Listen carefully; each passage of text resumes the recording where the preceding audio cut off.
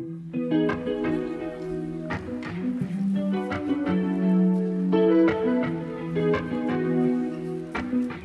guys, I'm Ryan. I'm one of the two co-founders at Interview Kickstart.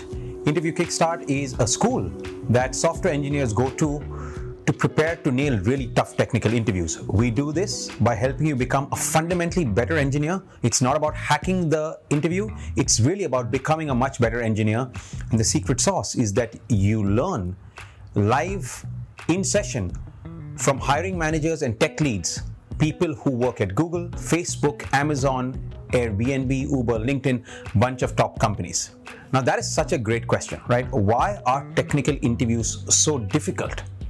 Well, there are two or three things that make these interviews incredibly difficult.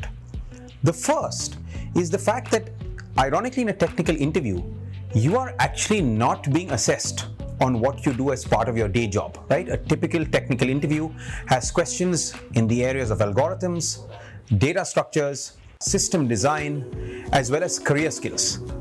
You could get questions like, how do you create a streaming service like YouTube? Or questions in very complex topics like dynamic programming, recursion.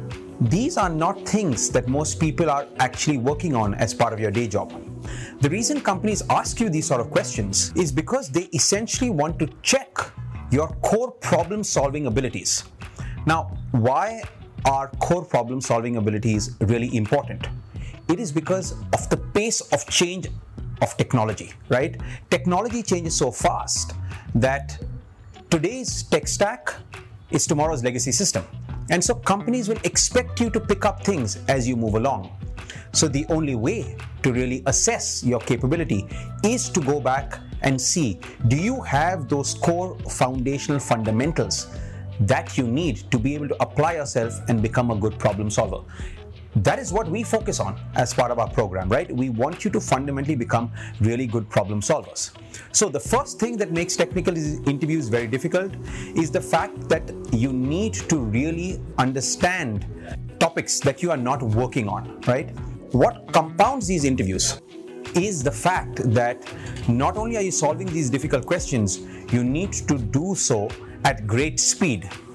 A typical technical interview lasts for about an hour. The first five ten minutes about pleasantries.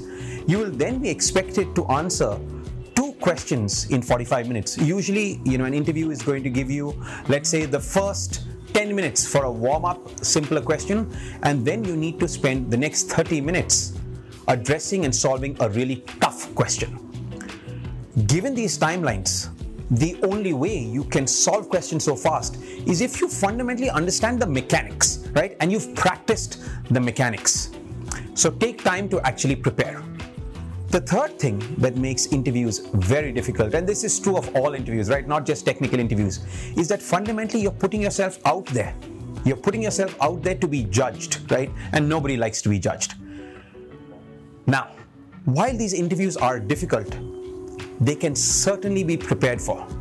The thing that's common across really everybody who goes on to succeed at these interviews is the fact that they take time, they commit, they realize that technical interviewing is a skill set that one needs to build up that is completely different from the skill sets that you are working on. Companies themselves want you to prepare. You take any of the top companies, you take a Google, a Facebook, or Amazon, really any of the top companies, they will actually send out prep material for you to go through before you come on site. That is how serious technical prep is. So, technical interviews are hard, but they can absolutely be nailed. Go ahead, give yourself the shot because the upside of nailing a technical interview is very, very significant. You work with far better people you do cutting edge work that changes the world, and it doesn't hurt that you typically get paid incredibly well at all these top companies.